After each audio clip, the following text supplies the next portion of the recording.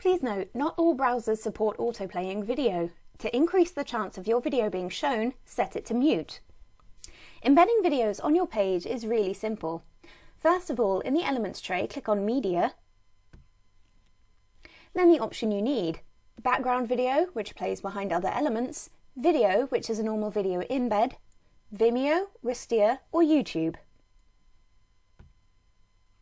Then a video element will appear on the canvas.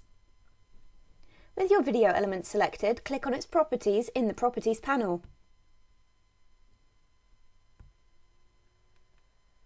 Enter your video URL